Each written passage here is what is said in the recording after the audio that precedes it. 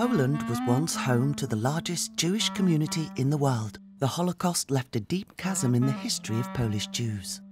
The Museum of the History of Polish Jews will honour those who died by remembering how they lived. It will celebrate the rich civilization created by Polish Jews in the course of a millennium and transmit it to future generations. This story extends to all the places in the world where Polish Jews live today.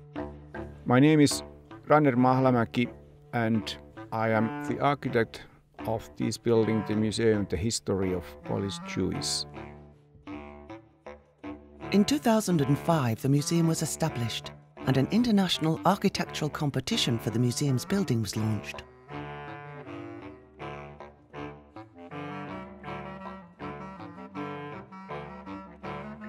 We need light here, a natural radiance to brighten the surroundings and bring out new tones from the dim background. The competition met with enormous interest. 250 projects were submitted from 36 countries.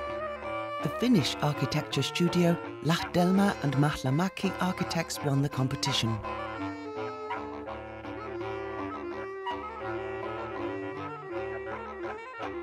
Construction began in 2009 on the site of the Warsaw Ghetto and Warsaw's pre-war Jewish neighbourhood. The building faces the monument to the ghetto heroes.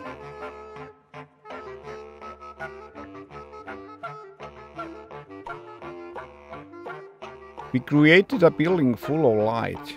The design refers to the thousand years of Jewish presence in Poland, a presence that was broken by the Holocaust.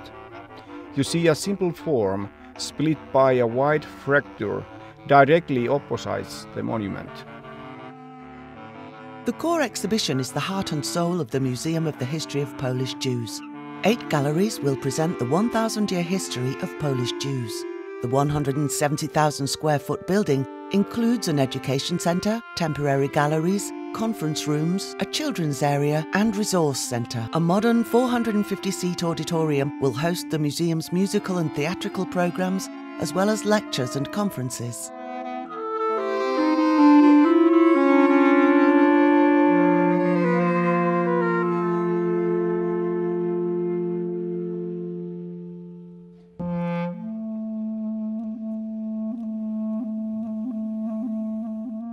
The Museum of the History of Polish Jews will be a vibrant educational and cultural centre, a place of open dialogue.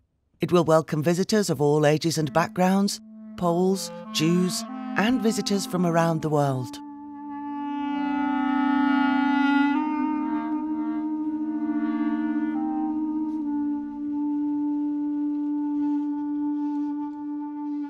The museum will launch its cultural and educational programming in its new home at the beginning of 2013.